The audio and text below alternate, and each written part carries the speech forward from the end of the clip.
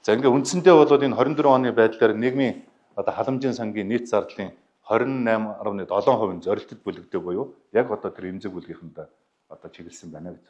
Үндсэндээ халамжид зарж байгаа 100 төгрөгийн 30 төгрөг нь л зорилтод бүлэгдээ үрж байна. 70 төгрөг нь бол зорилтод бас одоо өндөр орлоготой иргэдийн хүүхдэд тэгээ өндөр орлоготой одоо ахмадууд, өндөр орлоготой одоо ээжүүд гэдэг юм уу энэ одоо мөнгө одоо зарагдсан байна. Энэ бол үнэхээр үргэлжлэхгүй одоо зорилготой нийцэг одоо юм байна. Одоо өнөөдөр юм. Тийм учраас бид нар цаашдаа энэ халамж нийгмийн хамгаалалтын тогтолцоог одоо шинжлэх юм зайлшгүй одоо шаардлага үүсэж байна гэж ойлгож байна.